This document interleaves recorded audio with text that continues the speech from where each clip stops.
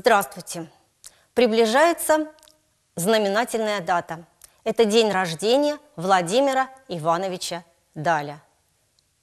Врача, писателя, этнографа, создателя толкового русского словаря и просто удивительного человека. Именно эта дата объединяет всех нас, луганчан, потому что Владимир Даль, казак Луганский, своими поступками, своей жизнью прославил нашу территорию.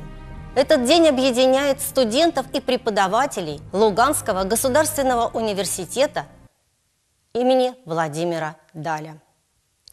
В 2001 году самый древний вуз Луганщины получил имя Владимира Даля, и мы с гордостью несем это имя. Сегодня хотелось бы рассказать о сыне Владимира Даля. Лев Владимирович Даль был известным архитектором, зодчим. Он изучал э, реконструкцию зданий и сооружений. Нашим студентам посчастливилось побывать в доме-музее Владимира Даля, который был основан еще в 1972 году в доме номер 12 по улице Владимира Даля. Это маленькое непримечательное здание, но когда заходишь вовнутрь, сразу попадаешь в другую историческую эпоху. Лев Владимирович Даль с самого детства очень любил рисовать. И как наши студенты-архитекторы э, вкладывал в это всю свою душу. Именно поэтому Лев Владимирович сначала получил, получив домашнее образование, а потом, окончив лицей, отправился в Санкт-Петербург. Он поступил в Академию художеств, в класс архитектуры. Он отлично учился и окончил Академию с золотой медалью. Получил диплом архитектора и стипендию, которая позволила ему продолжить обучение за границей. Лев Владимирович Даль побывал в Швейцарии, Англии, Франции, Испании. Именно там его поразили древние сооружения. Он изучал их, и уже в то время молодой архитектор проявил свои таланты и был замечен иностранными специалистами. Лев Владимирович Даль после длительной командировки за границей возвращается в Россию и живет в Нижнем Новгороде. Этот город стал для него родным. Именно здесь он начинает строить, реконструирует здания и сооружения.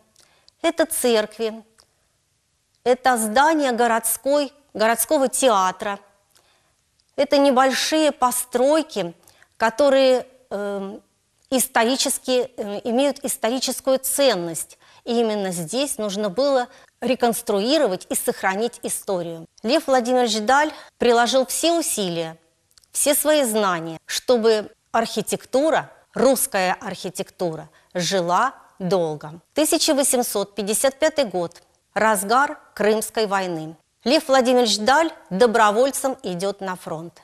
Больше года он сражается под Севастополем но не забывает свою, свои архитектурные способности. Он делает зарисовки. Они связаны с военными действиями, но все равно это были его художественные э, зарисовки, которые хранятся до сих пор и имеют определенную ценность. Заболевает тифом, вылечивается и возвращается в Нижний Новгород. И снова он обращает свое внимание к архитектурным постройкам, вспоминает свое образование за границей и начинает организовывать экспедиции в глубинку. Он ходит по деревням, зарисовывает э, здания и сооружения церковного происхождения или гражданские здания. Именно Лев Владимирович Даль обратил внимание на Деревянное зодчество. Именно он описывает, зарисовывает, классифицирует его. В Нижнем Новгороде Он занимается проектом строительства собора Александра Невского. Этот проект был одобрен Александром II. Стройка длилась очень долгие годы, не хватало денег, но все-таки собор был построен. Лев Владимирович Даль своим творчеством доказывает, что школа русской архитектуры находится на высоких позициях среди других архитектурных школ. Лев Владимирович Даль – академик Императорской академии художеств. Такую должность он получает за свои заслуги. Он прожил недолгую, но яркую жизнь. В заключении хочется сказать, что когда мы изучаем жизнь и деятельность великих людей, мы соприкасаемся с историей великой державы.